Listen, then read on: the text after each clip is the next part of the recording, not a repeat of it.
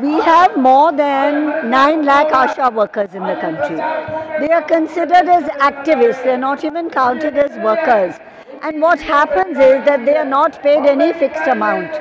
They are paid incentives for every job they do. Now, what is their work?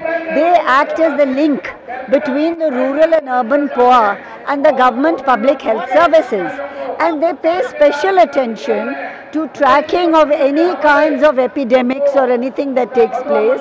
There's one ASHA worker for 1,000 members of the population. And in far off areas, tribal areas, it's a lesser number of population they have to look after. They go from door to door, they teach them good sa sanitation habits, they check out on the water supply, they look after the patients who have TB, and in fact, uh, they give them the medicine, ensure that the DOTS is taken, all that. After the TB patient is fully cured, then it could take 6 months, 8 months, 10 months. They'll be paid 250 rupees, that's all. So they are paid very small incentives. It's like a piece rate, like you have in factories. It's a piece rate for health work. Now this is such a crucial sector. And yet why do these women do this work? They're out from morning till night. They take the women for institutional checkups and deliveries. And in fact, because of their work, it has been acknowledged that they are the backbone of the National Health Mission and without them the mission could not be successful at all. They have increased the number of institutional deliveries by encouraging women to go there. They have decreased, helped to decrease the infant mortality rate, the maternal mortality rate. But when they go even to the primary health center or the community health center, the regular employees there admit the patient and tell the women to go and stand outside under the tree in 100 degrees temperature or in the cold because they are considered volunteers. They have no status. So whereas they are actually offering the most valuable service to society, they are treated like this because it's considered that what they're doing is part of the care work which they do at home. It's part of the nurturing work they do at home. So just as that is unpaid labor, this is also considered as unpaid labor. However, we have been unionizing them for the past eight years now. And we have been quite successful in that in many states they have managed to get the governments, the state governments, to give them a fixed amount apart from the incentives. Otherwise their earnings can be as low as 500 rupees a month and they come under a lot of pressure from the families that why are you spending out of your own pocket to take the patients either to the primary health center or the community health center. So they get a really rough deal. But they are very, very courageous at all times of the night when they have to go for a delivery. Sometimes they are attacked by stray dogs and all. There's no leave for them. When they don't go to work, they don't get paid because it's all on an incentive basis.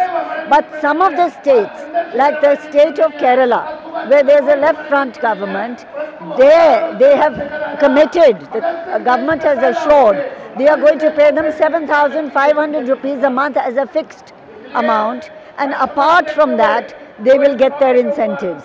They are already getting 2000 rupees a month, but it will be increased. The government of Telangana, after a very long struggle, they have committed that they are going to give them 6000 rupees a month, which as incentives, but they will ensure that they get that much every month. Now in Karnataka, after a huge struggle, the state government will give them 3,500 as fixed amount and the rest of it will come as incentives from the center.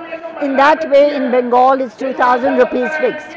In Haryana, they had a wonderful struggle because there are about 20,000 ashas, out of whom about 8,000 are unionized. And they went and they get out the chief minister's house. He was forced to call them for discussions. When they went, he said, I'm hungry, so how can I give you anything? They went back to Haryana. They collected one dabba of atta from each household. They packed it up. They delivered it to the chief minister's office and said, we have collected for you because we don't want the chief minister to go hungry. After which he called them, had discussions. They are now getting 2,000 rupees a month is fixed along with higher incentives. Government of Tripura, where we have a left front government, there the incentives they are getting from the center are being equally matched by the state. So they get double of what is being allocated by the center.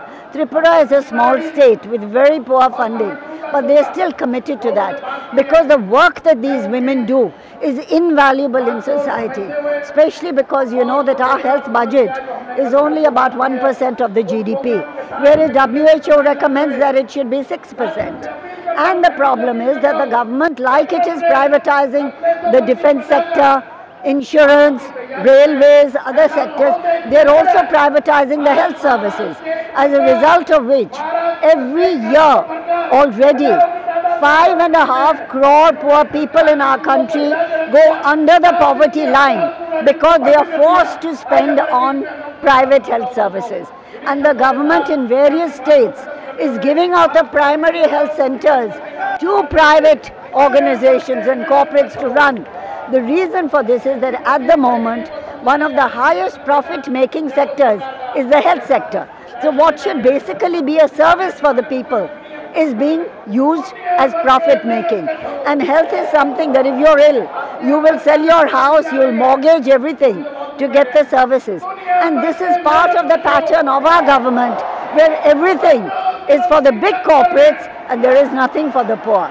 So the ASHA workers are very, very militant. They are having struggles all over the country and as a result of that they've achieved something. But we want them to be regularized as health workers. We want them to get a minimum wage of 18,000 rupees a month along with all social security benefits including pension. And that is why we are very much a part of this struggle apart from the other struggles that we are carrying on independently.